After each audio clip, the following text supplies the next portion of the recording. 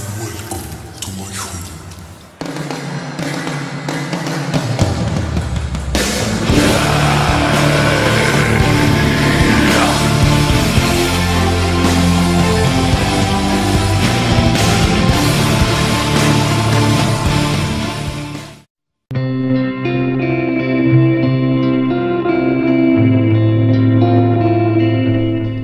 Sharon nacería en los Países Bajos un 12 de julio de 1974 y su nombre completo sería Sharon Jani Den Adel.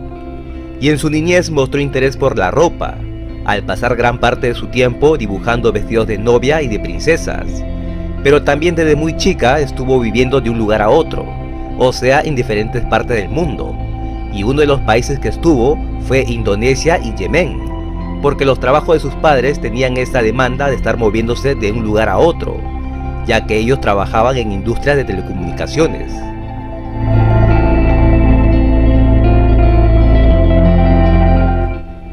Al volver a su país natal, la pequeña Sharon empezó a ser acosada por sus compañeros de clase, porque al ser una niña de piel un poco más oscura y de tener un modo de vestimenta diferente, muchos en el colegio le empezarían a molestar, y eso de algún modo le afectaría. Y en una entrevista ella nos cuenta sobre esos sucesos. Y el hecho de ser diferente era difícil de aceptar. Me veía muy diferente, me vestía muy diferente, me peinaba diferente y era muy oscura de piel. Ellos pensaban, la llamaremos Pinder. Jeetje, en wij maar denken, ja, dit is een meisje uit Waddinxveen. Je bent gewoon op alle getonen. Ik ben, ja, ja. Maar, ja. Werd je, werd je ook, uh, ja, werd het je moeilijk gemaakt, of niet? Ja. Wat? Gewoon hier dan.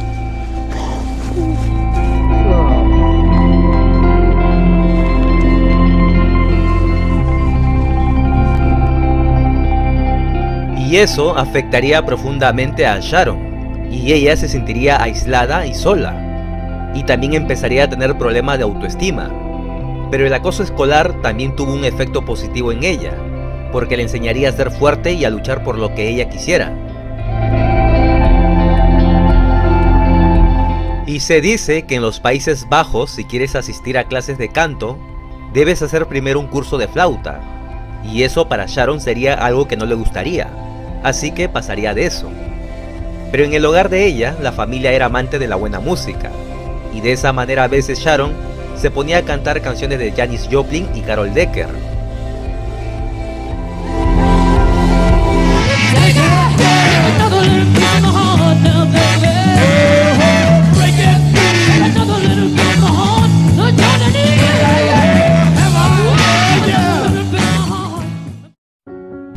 Y ya en su adolescencia, la señorita Sharon comenzaría con ciertos coqueteos con la música, porque comenzaría a aprender a tocar el piano poco a poco, y se metería en el género del rock. Y por aquellos años 90, empezaría a escuchar bandas grunge, y Nirvana se convertiría en uno de sus grupos de rock favoritos.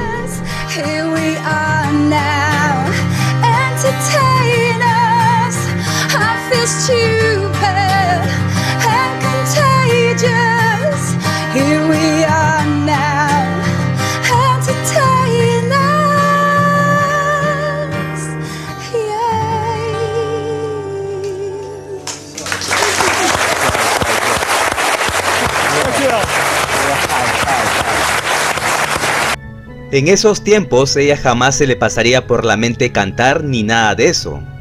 Además que pensaba que tocaba mal el piano, aunque oír cantar a Tori Amos le animaría a dar ese paso. Así entonces de adolescente participaría en la banda Kashiro, tocando los teclados, y con este grupo harían cover de Van Halen y música de los 80. Pero como no había vocalistas, Sharon se pondría a cantar, pero solo por poco tiempo.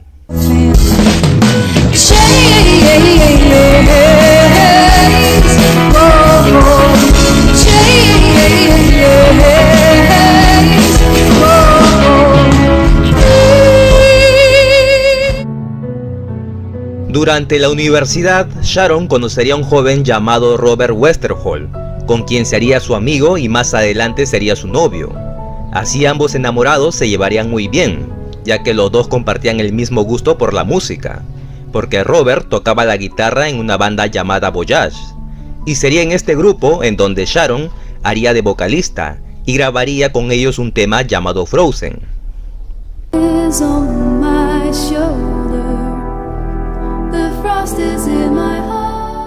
Pero por cosas de la vida, Robert por algunas diferencias con el grupo dejaría la banda. Y fue en ese momento que Sharon y Robert formarían la banda Within Temptation. Esta banda nacería en 1996 y estaría conformado por ex músicos de la banda Voyage. Y el hermano de Robert se les uniría para tocar los teclados.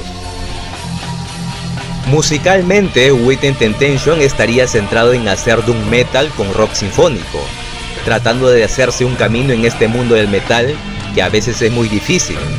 Pero esta banda estaba decidido en salir del under y ganarse un nombre. Live! Live!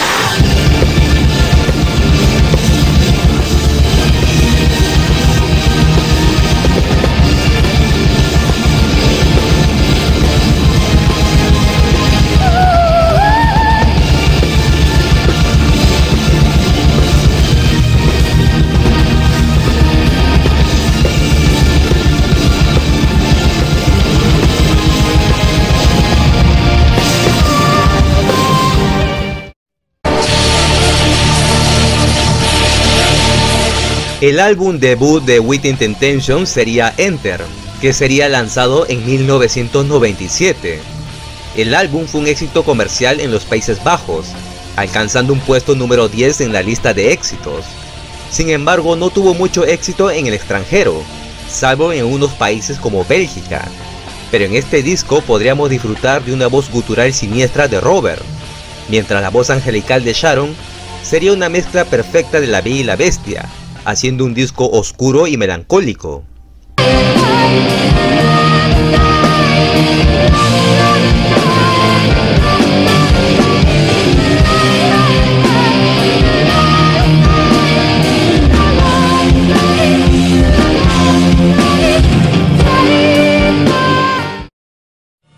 Y en este trabajo la banda nos darían 8 temas de puro doom metal, y las mejores canciones de este disco serían Enter, Life y Restless.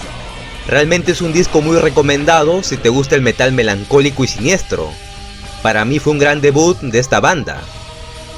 Así entonces en unas pequeñas giras en Australia y Alemania, la banda Within Temptation se presentaría en el Festival de Dynamo, en donde Sharon se presentaría con un vestido negro gótico y Robert con una camisa medieval blanca. Aquellas presentaciones serían los primeros conciertos de la banda, y en estos eventos, estos músicos nos mostrarían toda la potencia del metal que estos jóvenes llevaban en sus venas.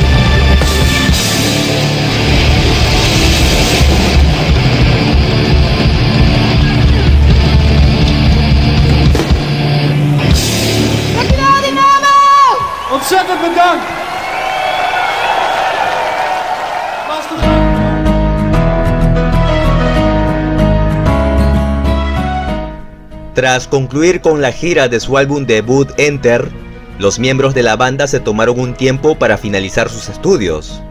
De este modo Sharon se tituló en gerencia y producción de modas, lo que le llevó a trabajar un tiempo en una agencia de modas, pero luego lo dejaría, porque la banda empezaría a trabajar para su segundo álbum.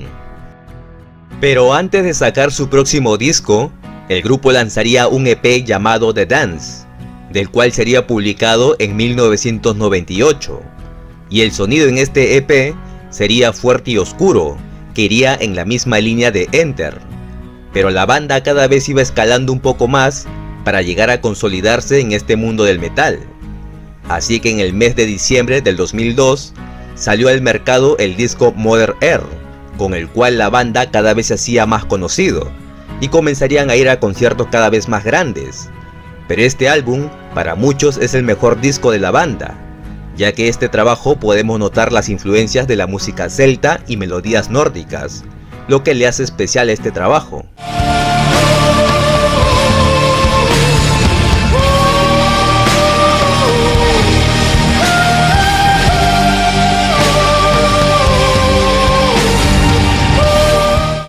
Y ya para el 2002 el hermano de Robert dejaría los teclados por temas de salud y sería sustituido por Martin, ex Voyage, y Ruth Jolie entraría como guitarrista.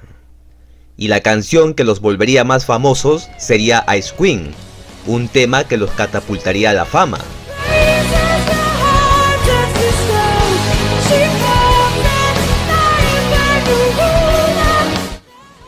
En este segundo álbum, la banda nos hablaría sobre la naturaleza, la vida y la muerte, pero ya no tendría la voz gutural de Robert, pero sin duda aún así sería un gran trabajo. Por eso me gustaría saber qué opinas sobre este álbum llamado Mother Earth.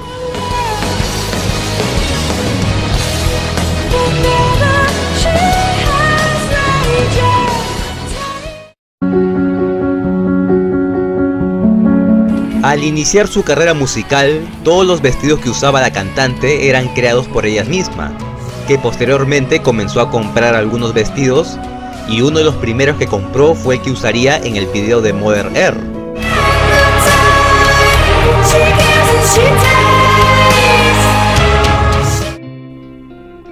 Entonces, para el 15 de noviembre del 2004 saldría el disco de Silent Four, con su primer sencillo llamado Stand My Ground, un tema que nos habla de enfrentar tus propios miedos y de defenderte a ti mismo. Pero en este tercer disco la banda contaría con una orquesta de 80 músicos y con un coro ruso, pero la música en esta oportunidad sería ya más suave que los demás trabajos, y la banda cada vez se volvería más mainstream.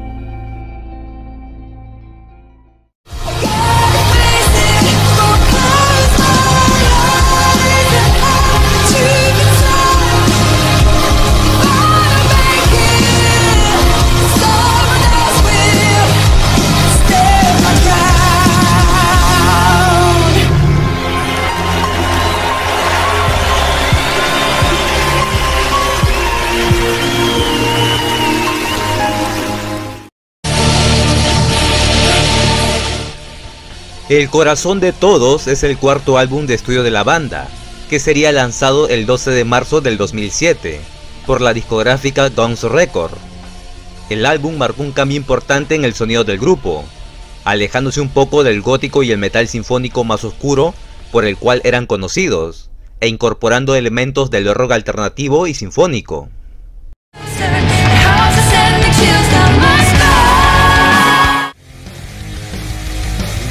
Esta evolución se puede escuchar en canciones como The Heart Everything y Frozen, que tienen un sonido más comercial y pegadizo. Sin embargo, la banda también conserva su esencia gótica y sinfónica, en canciones como The Howling y What Have You Done. Y estas canciones tienen una atmósfera más oscura y dramática, y muestran la voz poderosa de la vocalista Sharon Den Adel.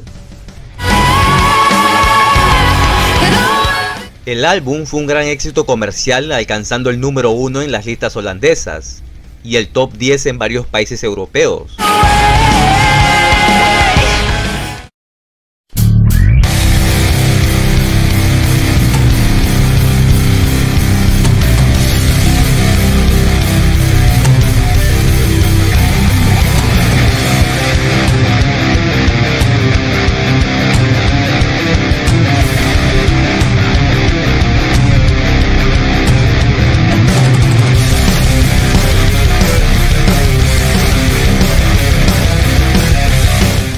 The Unforgiven sería lanzado en el 2011, como un álbum que sería originalmente concebido como la banda sonora de una película, pero Within decidió finalmente lanzarlo como un álbum conceptual.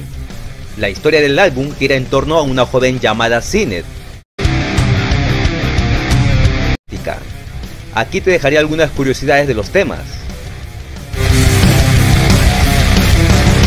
El tema Iron es una canción del empoderamiento femenino y el tema Fuego y Hielo es una canción sobre el amor y el odio. Shoot in the Dark fue inspirada por la película Thelman Lewis. Para el disco Hydra del 2014, el grupo introduciría por primera vez estrofas de rap de la mano de Exhibit.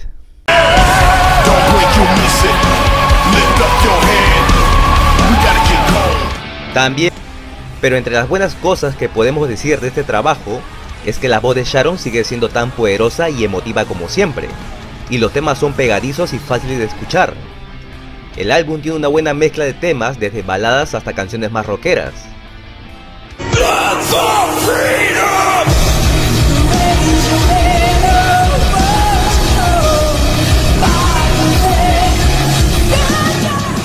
Y algunos puntos en contra sería que el sonido electrónico, que puede ser un poco abrumador para algunos fans, o como algunos temas que podrían sonar un poco repetitivas.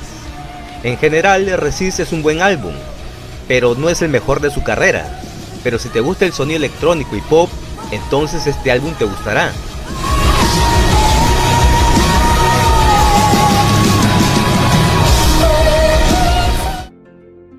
Hi guys, this is Sharon from Within Temptation and our brand new album Bleed Out is now on sale. Adele ofrece una actuación poderosa mostrando tanto su intensidad operística como su vulnerable ternura.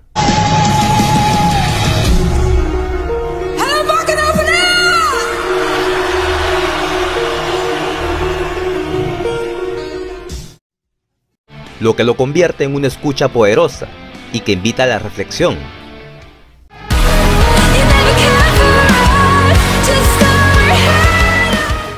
El álbum incluye varios sencillos lanzados antes de su lanzamiento completo, incluida la canción principal Bleed Out.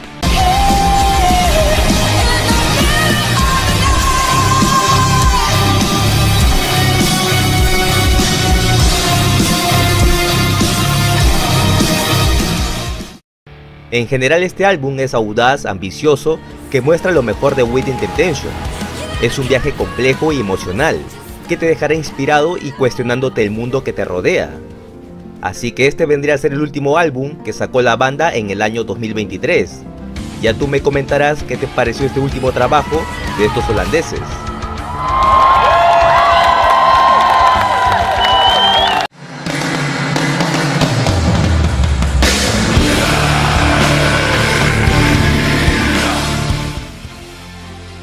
A esta banda lo conozco desde sus inicios y vi cómo han estado evolucionando en su música, ya que al principio tocaban un metal gótico oscuro, con voces guturales que Robert lo hacía, pero con el pasar del tiempo Robert dejó de hacer los guturales, por cuidar su salud vocal y no querer que se dañara. Además que ahora mismo está bordeando los 50 años. Mientras tanto, Sharon, este 2024 cumplirá 50 años. Y como hemos visto al principio del video, esta mujer nació con un talento para la música, ya que nunca fue a una escuela para cantar. Realmente esta chica nació con un don para el arte.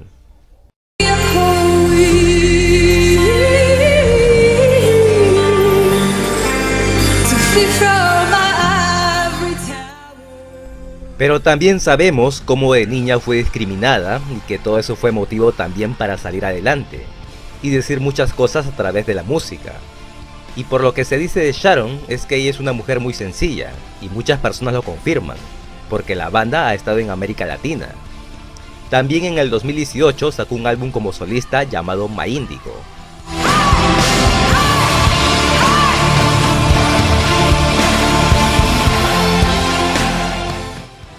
En su vida personal, ella está casada con Robert y tienen tres hijos, y como toda relación también pasaron por tormentas, que casi todo Within se desintegra.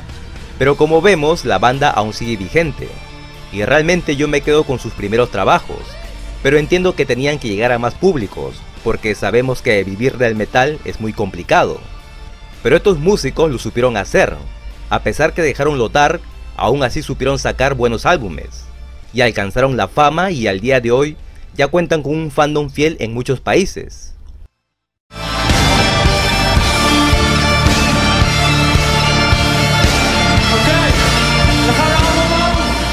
De mi parte, yo no tengo nada que reprochar a esta banda, que supo salir del under hasta llegar al estrellato. Así que ahora sería importante saber tú qué opinas acerca de esta banda y de Sharon.